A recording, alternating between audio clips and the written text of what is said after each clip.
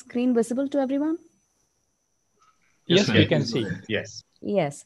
Uh, so foot care is a very essential part of self-management in diabetes in our patients as uh, improper foot care can be, I'm sorry, I'm having a difficulty to change. Yes.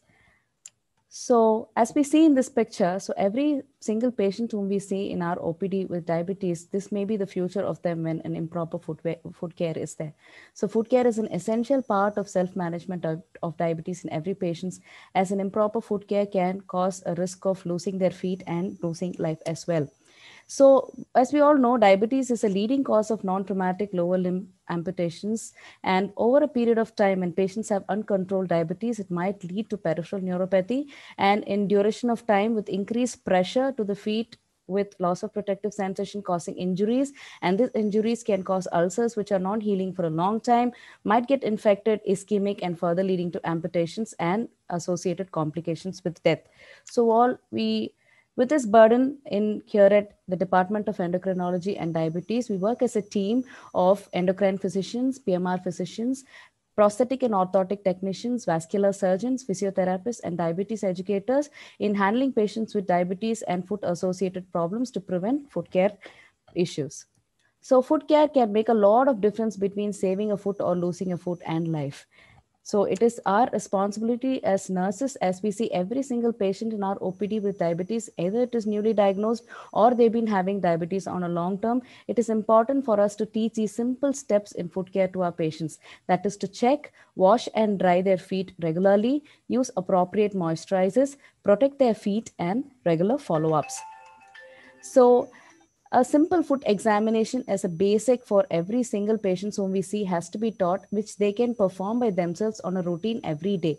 A foot inspection should cover the whole area, including the dorsum of the feet, the sole, the heel, and the nails and interdigital space.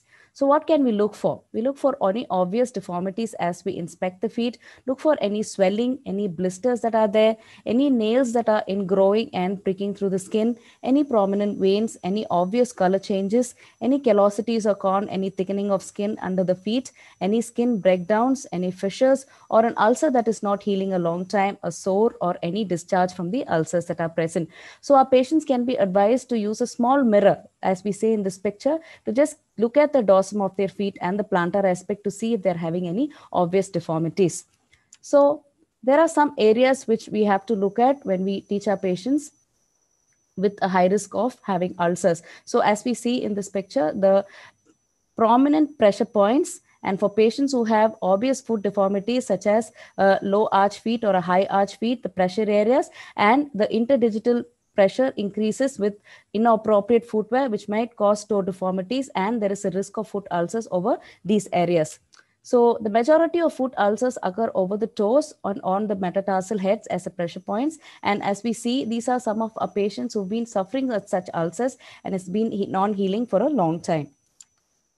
So as we see here in this picture, so this is a toe ring one of our patient is wearing, and this is a very common culture back here in India. So every patient, uh, married woman, you see they'll be wearing a toe ring. What happens ultimately is that when they don't concentrate on this much and the feet get swollen or the toe gets swollen, in a peak of time, it might get cause an ulcer, which is non-healing and might lead to amputations. So advise every patient who wears a toe ring. Uh, some patients may not be willing to do that, but it is important that we tell our patients to either wear a loose ring or remove the toe rings to prevent ulcers. So uh, appropriate footwear can make a major change in the patient's foot. So if the footwear is too tight or if it's too loose and if it doesn't accommodate the feet well, it can cause obvious foot deformities at, such as a hallux valgus and ulcers over the toes, which can cause a non-healing ulcer and amputations. So this is a T-strap footwear, which is again a very common footwear worn by most of our patients on a very long period of time. Patients who are having loss of protective sensation to their feet, who do not feel a footwear in their uh, legs. They try to hold these footwear every time. And as we see we see a lot of pressure over these areas over the toes which ultimately causes ulcers over these areas and causes toe deformities such as hammer toes mallet toes and claw toes leading to ulcers. So again, cross-leg sitting is a very common practice here uh, in our country. So what happens ultimately is when patients sit on a long time with their legs crossed, they might have developed ulcers over the the lateral malleolus, which might be unhealing, and this takes a very long time to heal. So we advise our patients not to sit cross-legged and use a chair. And if patients are at work where they have to be sitting on a long-term folding their legs, they can be advised to use a small padded cushion or a sheet folded to prevent ulcer over the malleolus.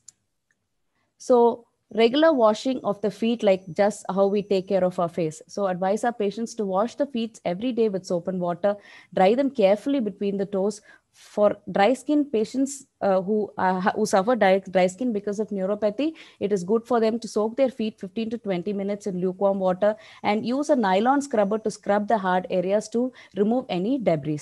So use of moisturizers every day is advisable. Again when we suggest our patients to use moisturizers it is really important for us to know where the locality of the patient is. We had history of patients who have been using coconut oil as moisturizers and they've had landed up in rat bites and ant bites and come with ulcers to us so it is really important for us to advise our patients to use appropriate moisturizers to prevent dryness of the skin.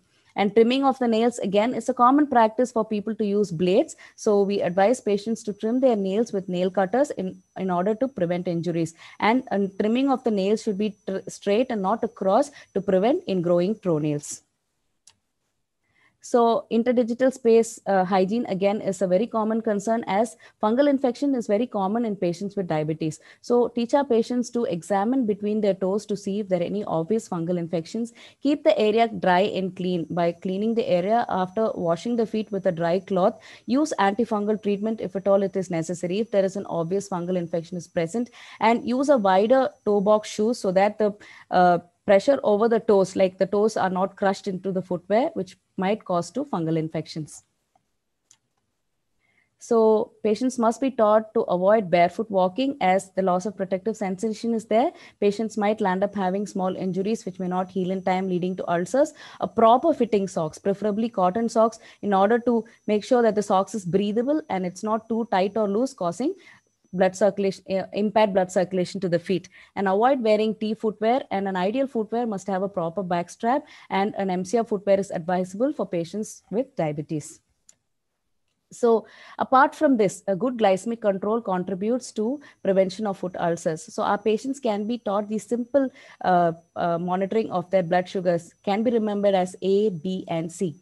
A is to monitor the HbA1c every three months, which has to be less than seven, maintain a blood pressure of less than 130 by 80, and have a complete screening for their complications for any early foot problems or problems in their eyes and kidneys.